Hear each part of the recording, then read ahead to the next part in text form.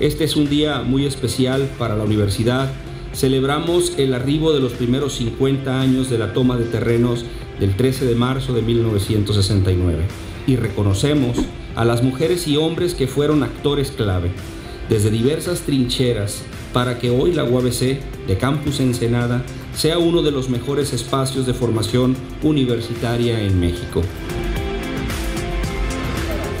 Habían pasado ya nueve años de la creación de la Facultad de Ciencias Marinas y doce de la universidad y no mirábamos claro tener edificios propios, muchos menos terrenos donde construirlos.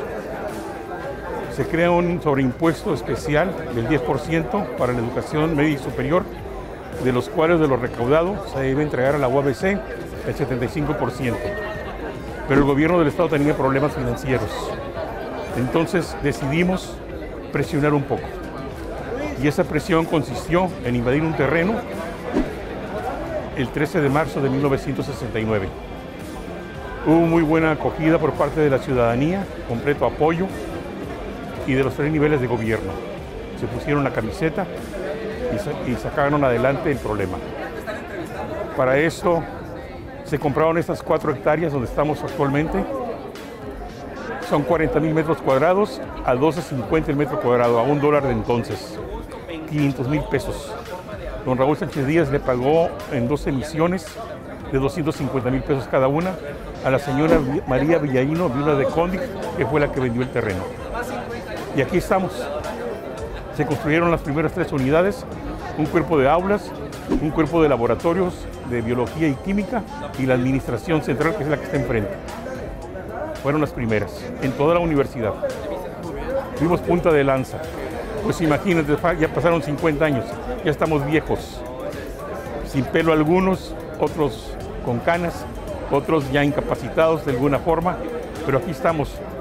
Y esto fue una trascendencia para Ensenada, para la universidad y para el Estado. Estamos eh, eh, en estos momentos en la Escuela de Ciencias Marinas conmemorando el 50 aniversario de la toma de posesión de estos terrenos, eh,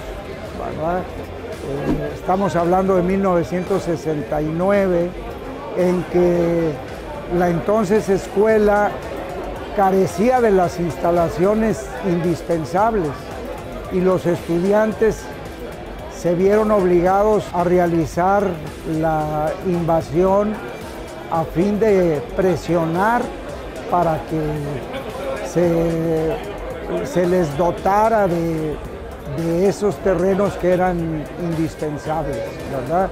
Pues fue así como esta Facultad de Ciencias Marinas que es emblemática, emblemática en la historia de la UABC, obtuvo terrenos para construir eh, instalaciones adecuadas para cumplir su función. El mensaje que podemos enviar en esta ocasión es agradecer el respaldo y el apoyo de la comunidad baja californiana a su universidad, a la UABC.